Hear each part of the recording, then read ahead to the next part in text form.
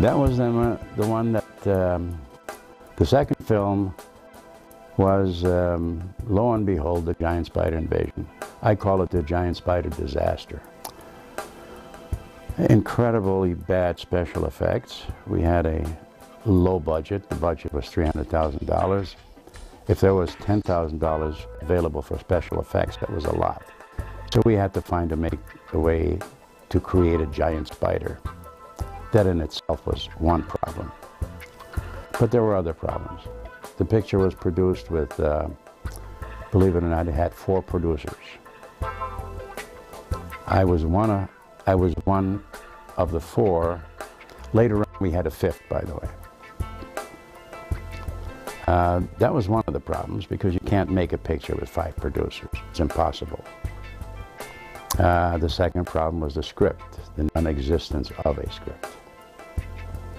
Even though there was a very devoted writer working on it, the rest of the crew or the executive crew wouldn't give him the opportunity to, to do his thing, so to say.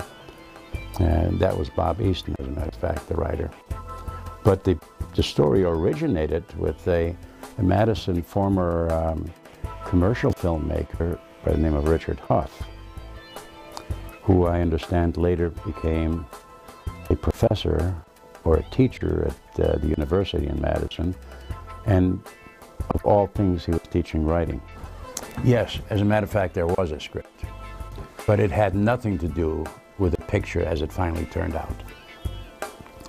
The script originally was written by Richard Huff in Madison, was rejected a few times, massaged a few times, rewritten a few times, and still didn't make it. So through some friends in Hollywood and through the distributor, we agreed to um, engage Robert Easton, the actor Robert Easton, and the dialect doctor to uh, help with the script. And he had some pretty innovative ideas at the time. Uh, I think as he, Easton himself will tell you in his interviews, that um, the, the story, the basic underlying story, was really not something that could be taken serious.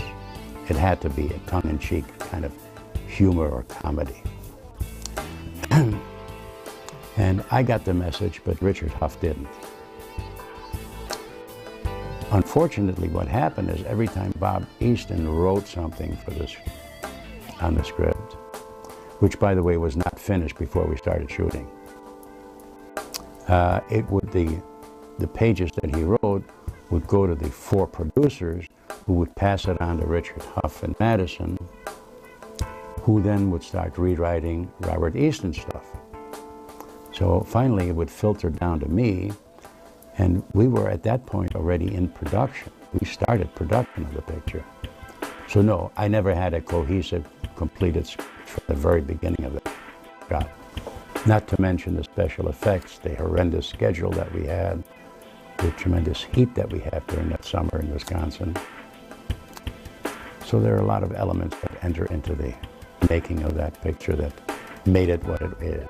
You know, what can you do for $10,000? So a friend of mine who was a semi self-made special effects genius um, came up with the idea, what if we took an existing vehicle, like a Volkswagen Beetle, recreated it, and made a body, the main body of the spider out of that. And that kind of kind of took hold, and we went ahead and looked for Volkswagen, and we did it, basically. Uh, the biggest problem with that was that my, my good friend, Bob Millay, who was the, um, the fellow that did the, if the spider effects and built the spider, so to say, had a bit of a drinking problem. So by the time we got 12 o'clock any day came around, he had already put away about a case of beer. So the process of making the spider was not only very slow, but very tedious. I was spending much of my time in Hollywood, New York, Chicago, and Europe. So I had a lot of friends in Hollywood, and um, one of my best friends was Steve Brodie at that time, who again knew a lot of other people in the industry. but um, That was relatively easy. It wasn't a question of having to call an agent and say, I want this guy or this guy. It was a matter of personal referrals. Somebody saying, hey, why don't we use uh, Skipper Alan Hale? Hey, that's a good idea. Let's have lunch with him. We kicked it around for lunch and he wanted to do it. And that's how we got the cast together. Everybody, irrespective of what walks of life they came from, everybody that was there, including the, the names from Hollywood, they loved it there. I think we treated them well. We always had the best accommodations we could get, uh, good food, relaxing atmosphere.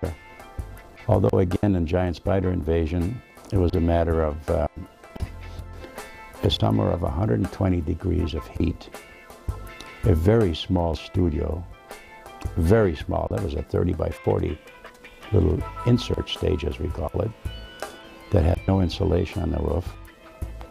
So that when it was 110 or 120 outside, it was like 140 inside. And the hours were gruesome. I think we had a, uh, the crew was up at 6 and we never finished before mid-evening. Luckily, it was a non-union picture.